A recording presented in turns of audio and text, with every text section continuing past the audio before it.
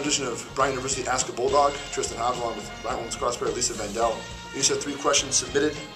Your answers. Would you rather fight 100 duck-sized horses or one horse-sized duck? Um, I'll actually go with the one horse-sized duck. Okay. Next question.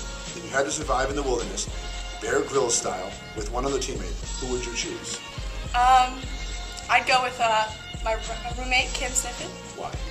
Because uh, I think she's resourceful and hopefully she would help me survive. Hopefully. And then your final question is, which character from Boy Meets World would you date, Corey or Sean, and why?